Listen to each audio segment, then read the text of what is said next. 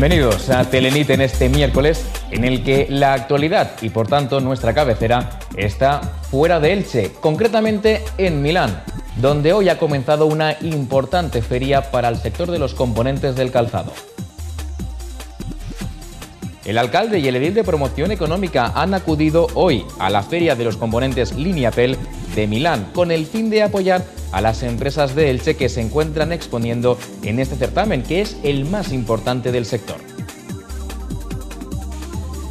Mientras, en la Plaza Castilla, aquí en Elche, las brigadas de parques y jardines han comenzado en las calles de alrededor a renovar el arbolado. Plantarán más de un centenar de ejemplares de especies más adaptadas a nuestra zona.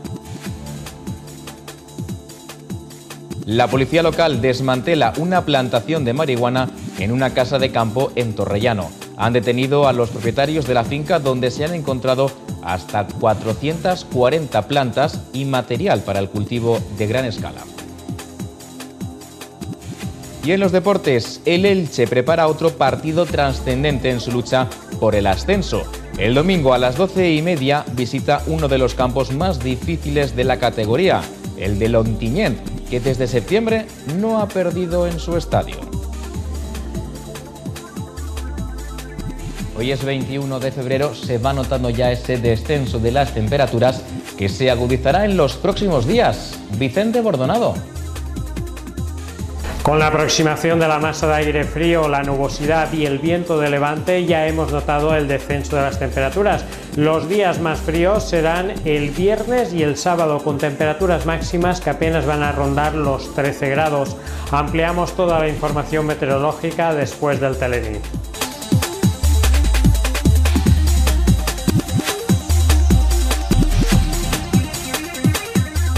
Contábamos al inicio del informativo, Lineapel, la feria de los componentes para el calzado más importante de la temporada, ha abierto sus puertas hoy en Milán. Allí se ha desplazado el alcalde junto con el concejal de promoción económica para apoyar a las 21 empresas de Elche que desde hoy exponen las tendencias para la primavera-verano del 2019.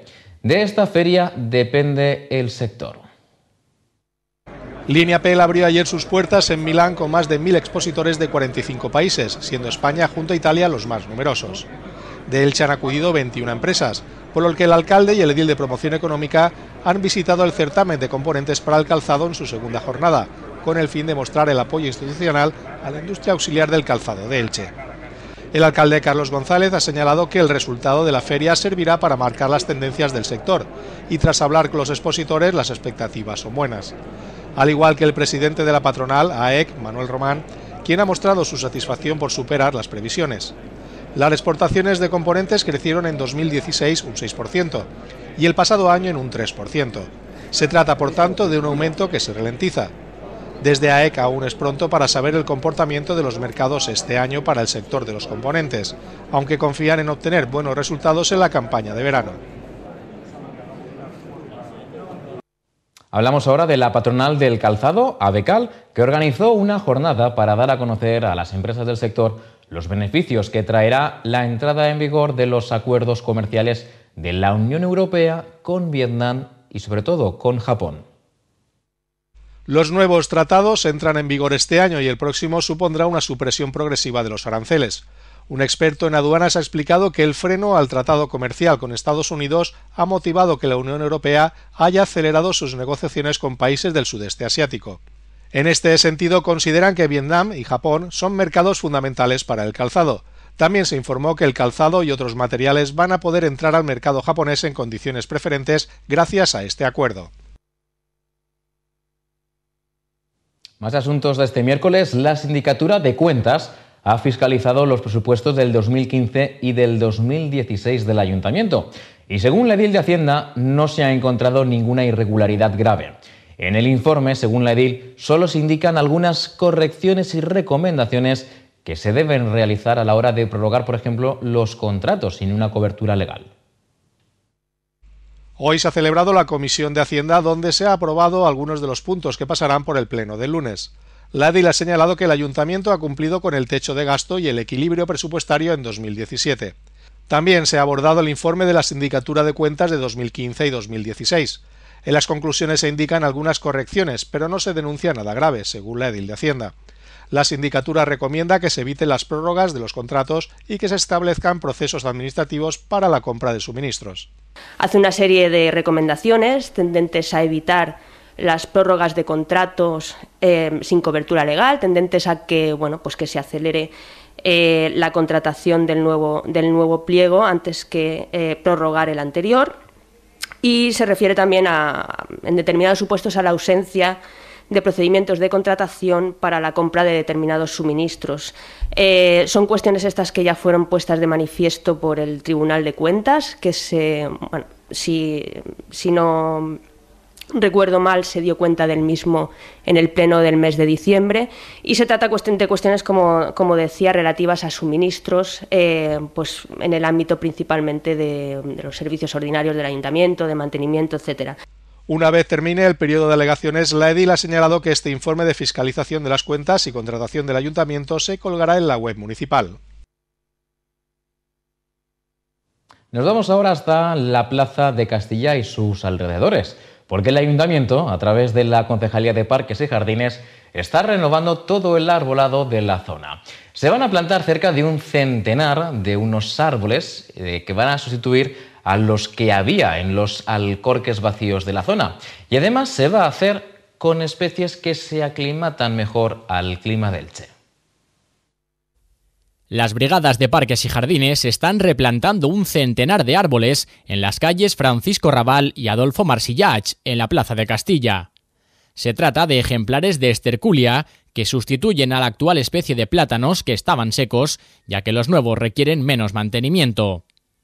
Esta actuación ha supuesto una inversión de 6.000 euros y junto con la que se llevó a cabo semanas atrás en la calle Antonio Machado, supone rellenar el 25% de los alcorques vacíos en la ciudad, según ha explicado el edil del área, Antonio García.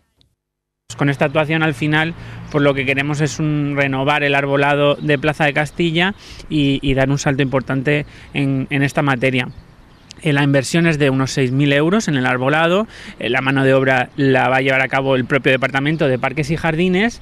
Y también hemos calculado que tanto con la actuación de Antonio Machado, que, presentamos hace unas semanas, como con esta, eh, vamos a rellenar un 25% de los alcorques que en este momento hay vacíos en la ciudad de Elche. Además, la concejalía va a poner en marcha una brigada especializada en replantaciones de alcorques en el municipio. Como hemos dicho antes, el próximo lunes habrá pleno municipal y poco a poco vamos conociendo las mociones que van a presentar los distintos grupos políticos. Hoy lo ha hecho Compromís, que llevará una moción sobre la equiparación salarial entre hombres y mujeres. Además, hace un llamamiento para secundar la huelga feminista que se ha convocado por los sindicatos para el próximo 8 de marzo.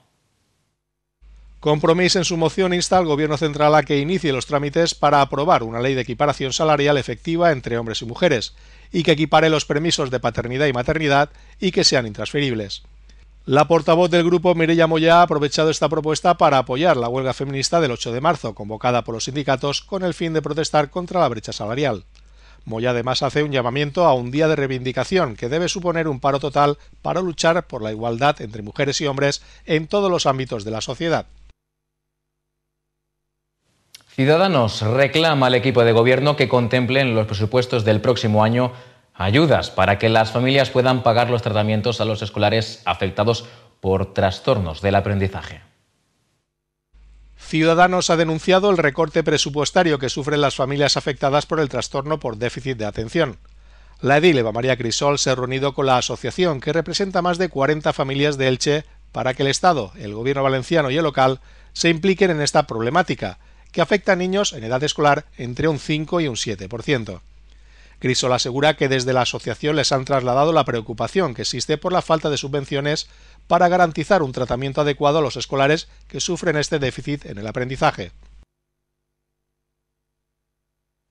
El concejal Fernando Durá ha denunciado que los cinco cubos instalados en varios barrios de la ciudad el pasado mes de julio para publicitar la programación cultural el último trimestre aún continúan instalados sin que se hayan actualizado. Por ello ha pedido al equipo de gobierno que cambie ese contenido para que puedan cumplir con el objetivo de fomentar la programación cultural en el municipio. Lo que en principio parecía una buena idea para dar a conocer la oferta cultural de Elche, a día de hoy se ha convertido en una prueba evidente de la ineficaz gestión del tripartito, ya que esos cubos continúan en nuestras calles, pero la oferta cultural que publicitan es la del último trimestre de 2017.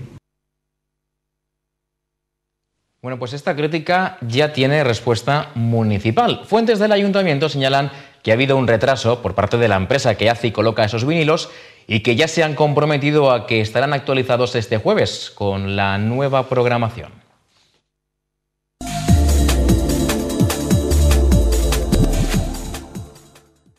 Anaví, tu tienda de moda infantil especializada en comunión y ceremonia Anavic te ofrece más de 50 modelos de fabricación propia para niños y niñas y exclusividad en el turno de comunión.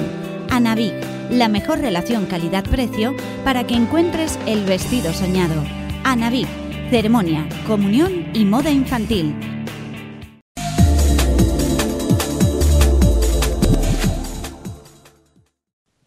Seguimos en Telenit y lo hacemos en clave de sucesos. La policía local ha desmantelado una plantación de marihuana con más de 400 plantas en Torrellano y ha detenido a los propietarios de la finca.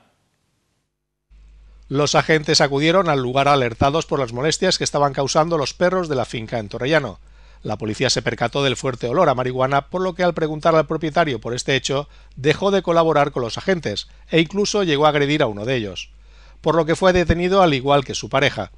Una dotación de la Policía Nacional acudió y tras inspeccionar la casa de campo encontraron 440 plantas de marihuana, focos, transformadores y otros utensilios propios para este cultivo a gran escala. Las ventanas estaban tapiadas para un efecto invernadero más eficaz. La obra del que es considerado como el gran maestro del fotoperiodismo en España, Agustí Centelles, se expondrá en Elche, concretamente en la sala de la Orden Tercera. Un total de 84 fotografías realizadas por él mostrarán la vida de los exiliados españoles que fueron recluidos nada más acabar la guerra civil en un campo de concentración de Francia. El agua es vida y llega a ti.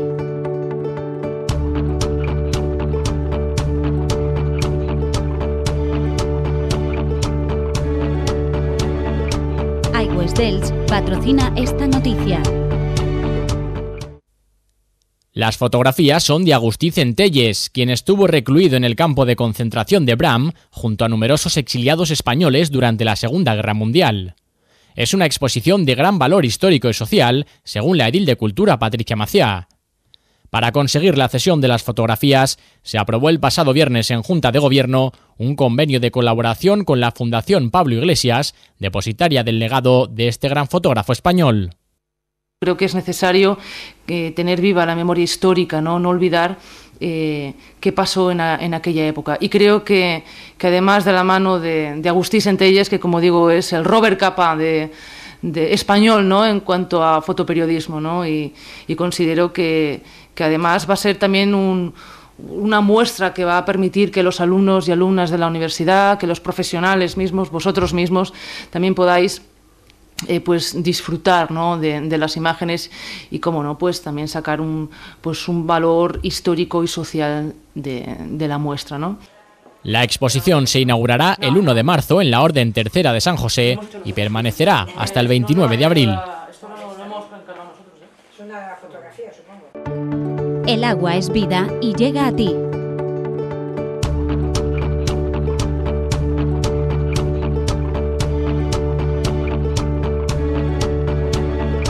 iWest Delch ha patrocinado esta noticia. Bueno, si la climatología acompaña, la Asociación Astronómica Astrojeda ha convocado para este viernes a partir de las 10 de la noche una plantada de telescopios en Torrellano Concretamente se realizará en la explanada de los Yeperos frente a la lonja. Está abierta al público y tiene como objetivo, pues en este caso, contemplar la Luna, pero también apuntarán con los telescopios a la nebulosa de Orión y al cúmulo de las Pleiades. Recuerden, este viernes a las 10 de la noche en Torrellano, en la explanada de los Yeperos.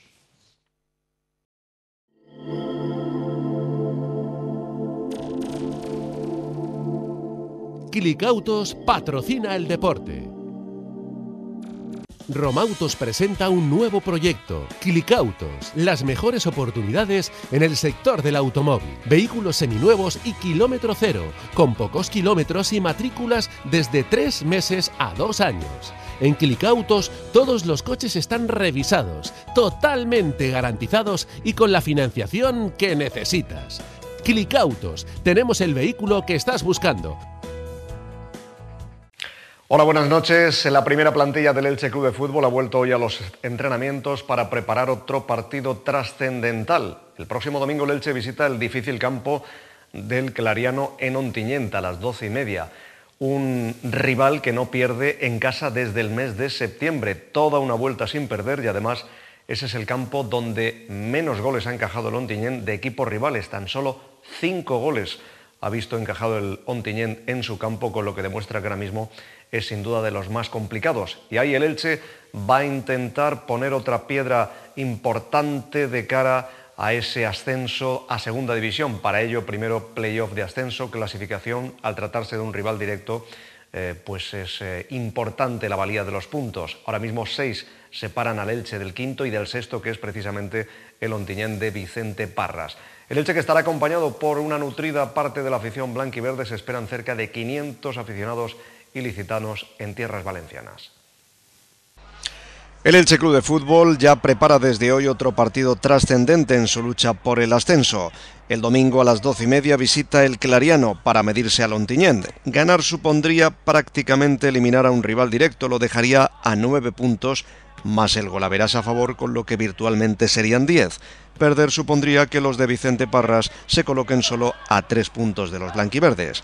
Ojo con el campo, el Clariano, que es uno de los campos más difíciles de la categoría. El Ontiñén lleva una vuelta sin perder desde septiembre y es el equipo que menos goles ha encajado en su campo, solo cinco. Sí, bueno, si está en las posiciones de arriba es porque están haciendo bien las cosas. Un entrenador que nos conoce bastante, ya que lo tuvimos aquí en, en pretemporada y conoce bien al equipo. Y está claro que va a ser complicado porque, bueno, ellos también le quedan partidos para. Tienen que, ganar partidos si quieren estar ahí arriba, que no sé si será el objetivo de ellos, pero será complicado y nosotros tenemos que mirar lo nuestro, hacer nuestro juego, como te digo, eh, en campo pequeño, intentar la estrategia hacerla bien, defensivamente no encajar gol y si hacemos eso, seguramente que podamos ganar el partido.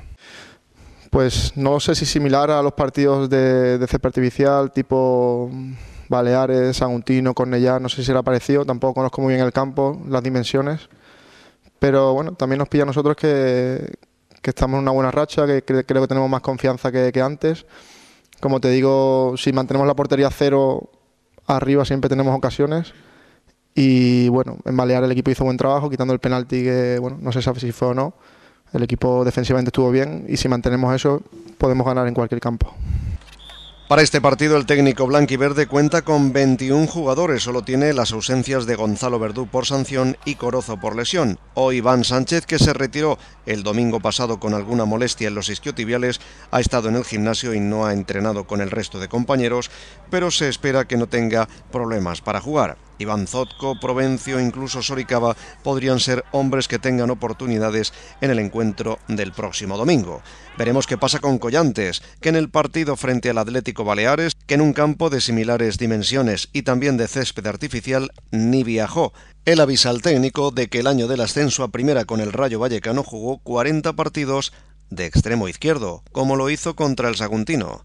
Eh, yo el año del Rayo Vallecano que ascendimos a Segunda División A estuve casi jugando 40 partidos en banda izquierda. ¿no? Eh, es un poco adaptarte a, a, la posición, quizá un poco diferente que, en banda derecha, que, bueno, que es mi pierna natural y, son otros movimientos.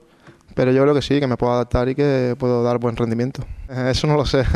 me preguntó si voy a jugar algún, algún partido. Bueno, él sabe que juega en otros equipos en esa posición, igual que en la, que en la media punta. Y bueno, yo creo que lo, que lo puedo hacer. La de este domingo será una jornada importante ya que se enfrentan los seis primeros entre sí. Además del Ontiñent que recibe al Elche, sexto contra tercero, el Cornellá recibe al líder al Mallorca, cuarto contra primero. Además el Hércules, que ahora mismo está en séptima posición, recibe al segundo que es el Villarreal B. Sí, sabemos que bueno, que ellos tienen partidos complicados, que nosotros también lo tenemos, porque el nuestro también va a ser complicado pero quedan todavía partidos, tiene que venir Villarreal aquí, tiene que venir el Mallorca, eh, bueno, hay campos complicados, ahora los rivales se juegan mucho el descenso y ahora es más complicado conseguir puntos, así que, que yo creo que todavía quedan puntos por delante, el que llegue más fuerte al final va a tener posibilidades de, no sé si llegar al primer puesto porque está, está difícil, pero iremos partido a partido y si nosotros no fallamos estamos cada vez más cerca de ellos. La actualidad del Elche Club de Fútbol, que el próximo domingo se enfrenta a Lontiñent en un partido de rivalidad regional. El entrenador de Lontiñent es ilicitano, Vicente Parras, ex del Elche Club de Fútbol y del ilicitano y conoce bien los eh, argumentos eh, futbolísticos del conjunto que ahora dirige Jósico. Vamos a hablar también de eh, deporte, hablaremos en este caso de los cheques que ha entregado la Concejalía de Deportes de la San Silvestre a distintas asociaciones y también de balomano femenino. El Elche Mustang eh, perdió en la Copa de la Reina en el partido de ida frente al Valladolid de tres tantos que tiene que remontar en estos instantes porque ahora mismo está jugando el partido de vuelta en tierras pucelanas. El Elche Mustang cayó el pasado sábado en la ida de la segunda fase de la Copa de la Reina por 18 a 21 ante el Aula Valladolid en Carrús. El equipo ilicitano disputó una buena primera parte en la que se marchó por delante en el marcador con tres goles de ventaja, pero en la segunda acusó el cansancio y el rival que pelea por el campeonato de liga remontó para conseguir la victoria en el primer asalto copero en tierras ilicitanas. En estos momentos se juega la vuelta en el pabellón Huerta del Rey de Valladolid, en el que el Mustang debe ganar por más de tres goles de diferencia si quiere avanzar a la fase final de la Copa de la Reina. Por su parte, en balonmano masculino, el pasado sábado el Club Balonmano Elche Vulcanizado Salverola jugó la jornada 20 de la primera estatal masculina en el Grupo E con victoria por 25-2 ante el Villarreal en Carrús. Un partido en el que el franjiverde Manuel Martínez fue el máximo goleador con ocho tantos en su cuenta particular.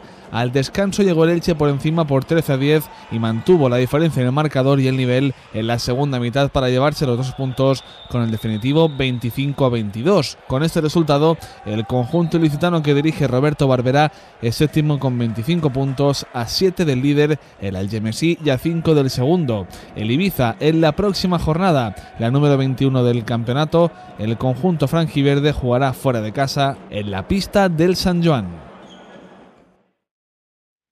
Y también les contamos que el concejal de deportes Jesús Pareja hizo ayer entrega en el Salón de Plenos el dinero recaudado de la San Silvestre, de los cheques de esta competición. Concretamente, la recaudación se repartió entre cuatro entidades que, según el concejal de deportes, fomentan la disciplina deportiva y ayudan a construir una sociedad mejor.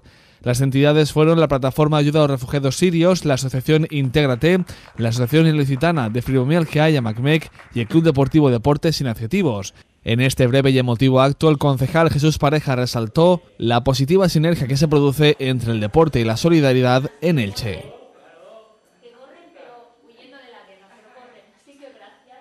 Pues deseando que el equipo ilicitano del Club Balomano Elche, el Mustang, pueda remontar el partido de ida, nosotros vamos a poner el punto final. Mañana volvemos con toda la información deportiva. Buenas noches.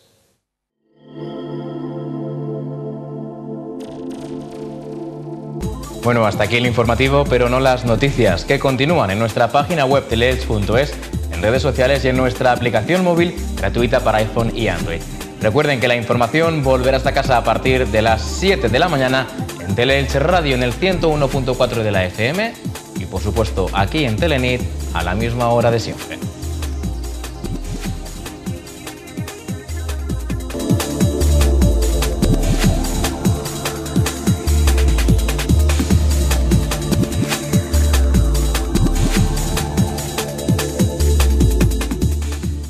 ¿Conoces IM Packaging? Somos el referente de tu comarca en el diseño y fabricación de máquinas para el envasado. IM Packaging. Te daremos la solución más adecuada a tu propuesta y toda la información de la máquina que necesitas. IM Packaging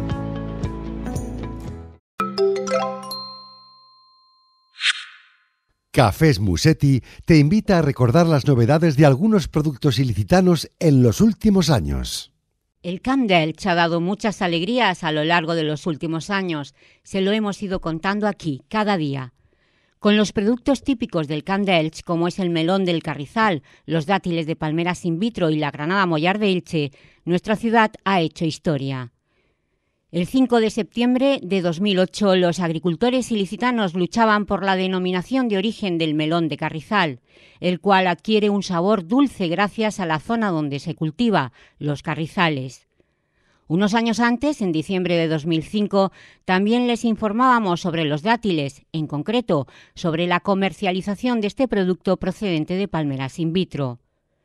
Esto supuso un paso adelante en innovación, éxito que comparte también con la Granada ilicitana. En enero de 2016, Elche conseguía la denominación de origen de la Granada Mollar. La venta de miles de kilos de estos tres productos hicieron que Elche se expandiera a nivel agrícola y fuera conocida la cocina ilicitana tanto nacional como internacionalmente. Además, la prestigiosa y reconocida cocinera ilicitana Susi Díaz ha ayudado a fomentar la gastronomía para aumentar el turismo en la ciudad. En agosto de 2014 fue la encargada de pronunciar el pregón de las fiestas patronales de ese año y en septiembre elegida para promocionar la gastronomía de la comunidad valenciana, lo que le dio la oportunidad para dar a conocer más productos de Elche.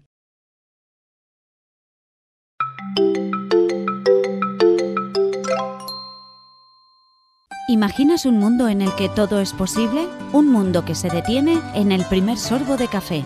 Cierra los ojos, imagina que te transportas a la bella Italia puedes vivirlo. Ven a conocer el mundo Musetti Café. Aquí te sentirás capaz de todo. Musetti Café te da la energía extra que necesitas. museticafé.es para tus compras online. Descubre en Corporación Dental la mejor forma de reponer las piezas dentales que te faltan, de la mano de nuestro equipo altamente cualificado y de las últimas tecnologías. Corporación Dental, 16 años al cuidado de tu salud bucal y la de tu familia. Primera visita y diagnóstico gratuito. De Bebé Kids, la mejor moda infantil para todas las ocasiones. Ceremonia, bautizo, comunión, la última moda para niño y niña en The Bebé Kids. Y para el recién nacido todo lo que necesitas para la canastilla. De Bebé Kids.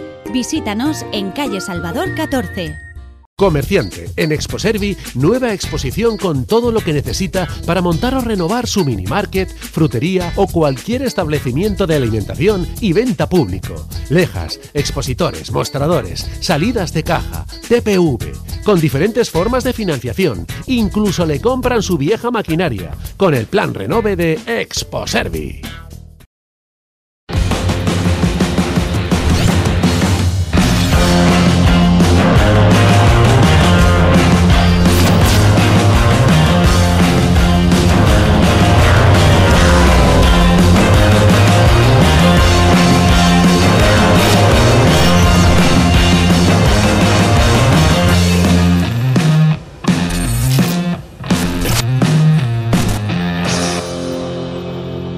Volkswagen.